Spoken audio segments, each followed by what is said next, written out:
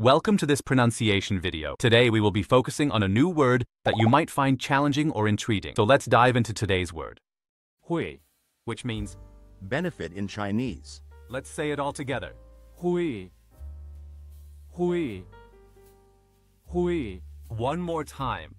Hui. Hui. Hui. Thank you for joining us on this adventure in pronunciation. Remember, language is a journey not a destination. Keep exploring, experimenting, and expanding your linguistic horizons. We'll see you next time.